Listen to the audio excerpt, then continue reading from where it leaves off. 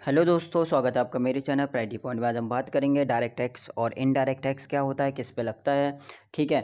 इस बारे में डिस्कस करेंगे, वीडियो स्टार्ट करने से पहले एक बार पढ़ लेते हैं। स्क्रीन पे देखिए, अब कुछ लिखा होगा, बारिश की बूंदें भले ही छोटी हो, पर उनका बहाव लगातार उनका लगातार बरसा, बरसना बड़ी नदियों का बहाव बन जाता है, वैसे ही हमारे छोटे छोटे प्रयास भी ज़िंदगी में बड़ा बदलाव ला सकते हैं, ठीक है?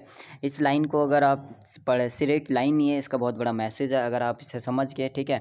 तो आपके लिए इम्पोर्ट आपकी जो आने वाले कॉम्पिटिशन लेवल एग्ज़ाम है, उनके लिए बहुत इंपॉर्टेंट रोल करेगा, ठीक है?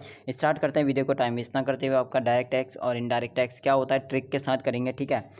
स्टार्ट करते हैं डायरेक्ट टैक्स होता क्या है, ठीक है? प्रत्यक्ष कर, प्रत्यक्ष वह करें होता है, जिसे जिस व्यक्ति पर आरोपित किया जाता है, उसे, उसी से वसूला जाता है। अर्थात वह कर जिसे आपसे सीधे तौर पर वसूला जाता है, उसे प्रत्यक्ष कर कहते हैं, ठीक है? और इस ट्रे, इसे हम ट्रिक के माध्यम से करेंगे कि प्रत्यक्ष किस किस पे लगता है। तो ट्रिक यह है कि मृत्यु आई। मृत्यु आई क्यों आई है? क्योंकि कृषि, व्यवसाय, धन, संपत्ति, निगम, भू, पूंजी, वो क्या हुआ? हार गया था, इसलिए उसको क्या आ गया? मृत्यु आ गई, ठीक है? अब मृत्यु आ गई, इससे क्या होता है? मृत्यु से मृत्यु कर जो लिया जाता है, वो भी डायरेक्ट लिया जाता है। आय से आय कर पे भी हमारा क्या होगा? डायरेक्ट टैक्स के अंदर आएगा। और उसके बाद कृषि कर भी डायरेक्ट टैक्स व्यवसाय कर डायरेक्ट टैक्स धन कर डायरेक्ट टैक्स संपत्ति कर डायरेक्ट टैक्स और निगम कर। ये सब कर हमारे किसमें आएँगे? डायरेक्ट टैक्स में आएँगे, ठीक है? ये सब डायरेक्ट यानी प्रत्यक्ष कर के अंदर आएँगे, ठीक है? भू से भू राजस्व, पूंजी हो गया और उपहार, ये सब हम हो जाएँगे हमारे डायरेक्ट ठीक है? अब बात करते हैं इनडायरेक्ट इनडायरेक्ट वो होता है जो प्रत्यक्ष इस, ऐसे कर को क्या कहा जाता है? अप्रत्यक्ष कर कहा जाता है, ठीक है? जिसका मौद्रिक भार दूसरों पर डाला जाता है, अर्थात कर का वास्तविक भार उस व्यक्ति पर नहीं पड़ता जो उसे अदा करता है। इस ट्रिक के माध्यम से हम ये जानेंगे कि कौन कौन से अप्रत्यक्ष कर के अंदर आते हैं, ठीक है?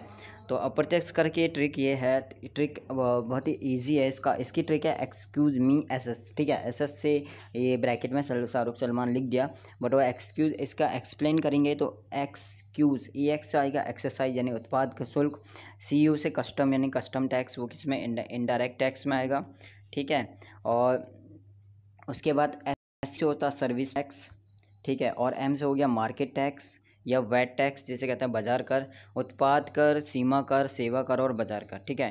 और इसके अलावा आता है, ई से एंटरटेनमेंट टैक्स यानी मनोरंजन कर सेल्स टैक्स यानी बिक्री कर और स्टाम्प ड्यूटी यानी स्टाम्प शुल्क वो भी किसमें आता है?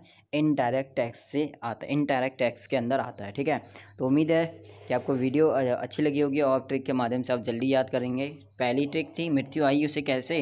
क्योंकि उसकी संपत्ति हो गई, भू हो गया हार हो गया सॉरी संपत्ति, भू, धन, कृषि, व्यवसाय में उसे क्या हो गई? हार हो गई तो इससे मृत्यु आ गई।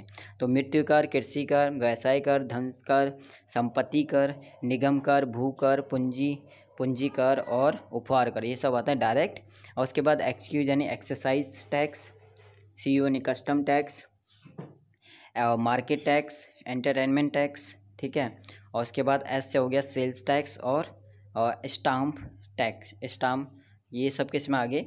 ये आगे इनडायरेक्ट टैक्स के अंदर, ठीक है? तो वीडियो अच्छी लगी, वीडियो को लाइक सब्सक्राइब और शेयर कीजिए ज़्यादा से ज़्यादा प्राइडी पॉइंट को, ठीक है? और वीडियो देखने के लिए